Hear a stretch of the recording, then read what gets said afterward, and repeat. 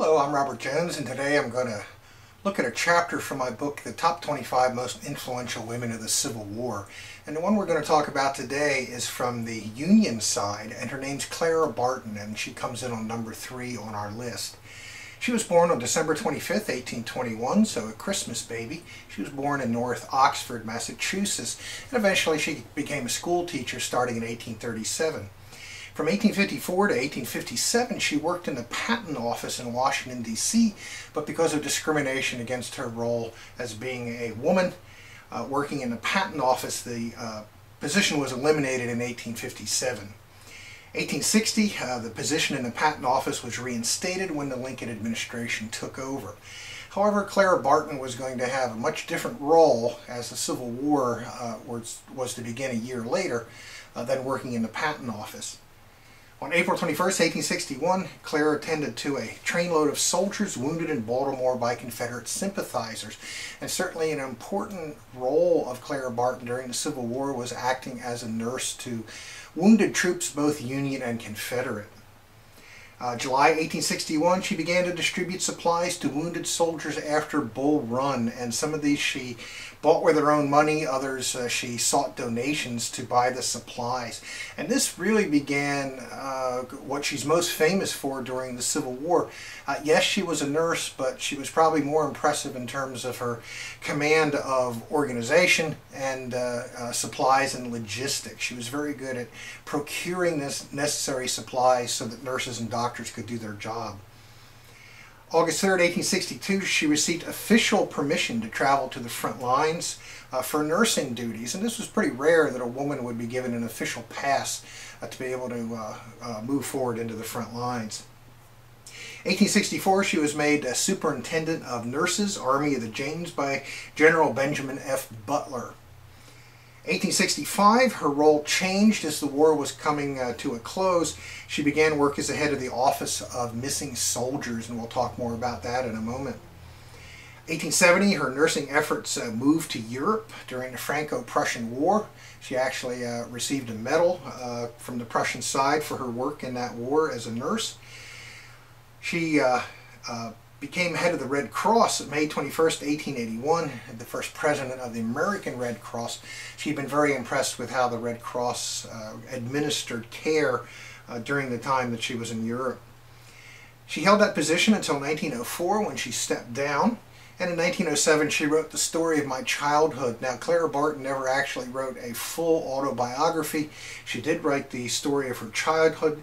Uh, she died April 12, 1912, but in 1915 an, an, authorized biography was published, The Life of Clara Barton by Percy H. Epler. Uh, in more recent times, 1948, a three cent stamp honoring her role in the Red Cross was released by the United States Postal Service, and on June 29, 1995, a 32 cent stamp of Clara Barton's role in the Civil War was issued by uh, the United States Postal Service. So let's talk in a little more detail about some of the high points of Clara Barton's career. Uh, there's a picture you see of her there. That's the picture she liked the most and the one she wanted to be remembered by. At First Manassas, uh, Barton started a campaign to collect medical supplies in the Washington, D.C. area. She put ads in the newspaper, she collected donations, and uh, she started delivering the supplies to the front when men were uh, wounded. Her success at providing those supplies to uh, Union forces eventually led to her receiving a pass from the Assistant Quartermaster General that allowed her to travel back and forth to the front lines of the Union Army. And when she did this traveling, she typically had as many as three wagons with her, uh, brimming with supplies uh, that were used by the nurses and the doctors. She appeared in an awful lot of battles, uh, Cedar Mountain, Antietam, Fredericksburg, Second Bull Run, Harper's Ferry, Wilderness, Spotsylvania, as well as the sieges of Petersburg and Richmond. Uh, the soldiers, uh, the wounded soldiers, called her the angel of the battlefield for her uh, role as a nurse and supplier.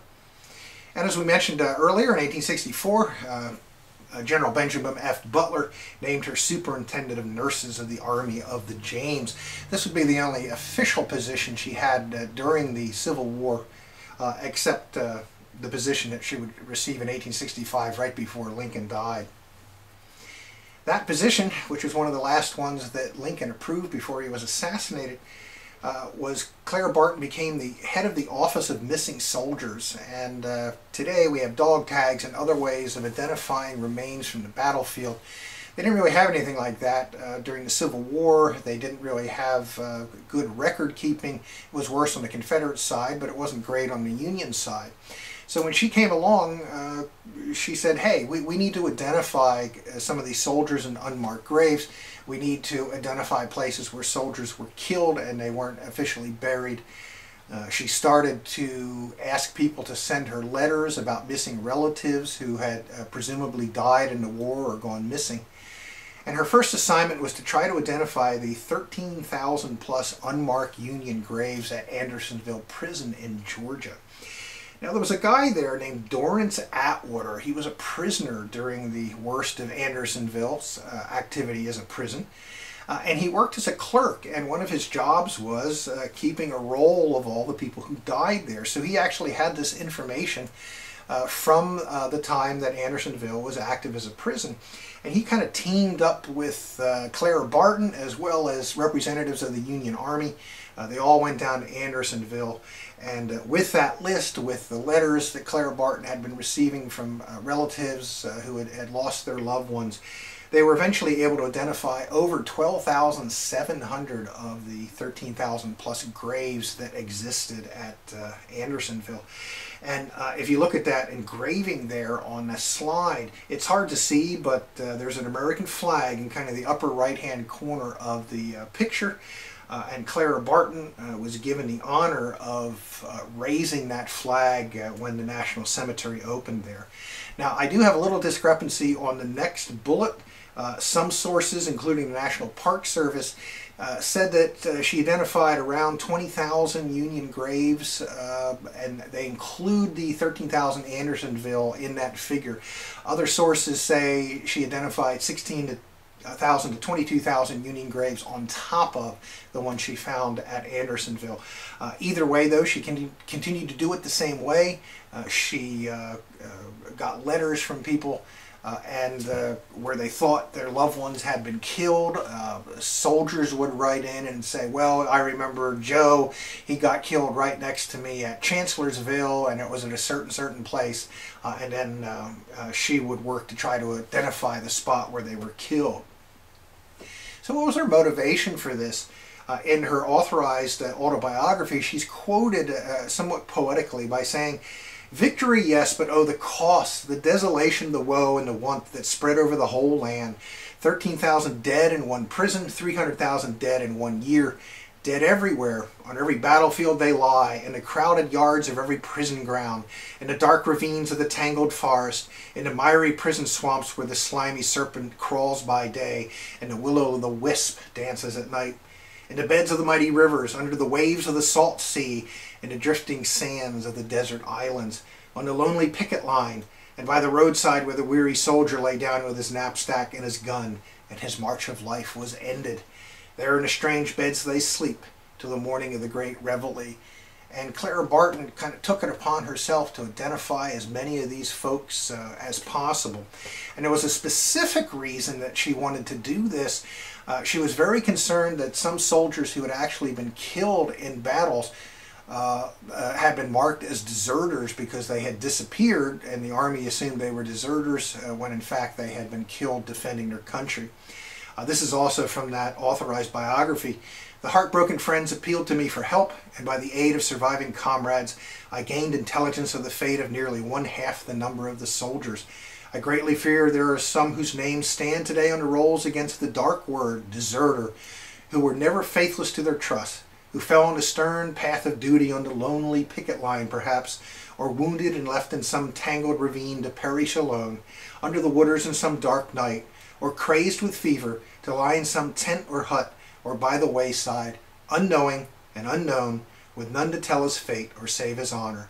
Alone with his tarnished name he sleeps, quiet and sweet. And Clara Barton wanted to right that wrong, uh, and if soldiers had died uh, doing their duty, uh, she wanted to make sure that uh, they were not marked as deserters. After the war, Barton uh, traveled to Europe, um, actually acted as a nurse during the Franco-Prussian War. She was very impressed with the work of the Red Cross. In time, she brought that idea back to America. In May of 1881, she became the first president of the American Red Cross. Uh, she filled that role until uh, 1904. And uh, just a couple other notes. Uh, Clara Barton was also a social reformer. Uh, she certainly stood tall for civil rights uh, after the war. Uh, she was also involved in the uh, women's suffrage movement. And that's our quick note for the day on Clara Barton, nurse, organizer, and logistical supremo of the Civil War and after the Civil War. Thank you for watching.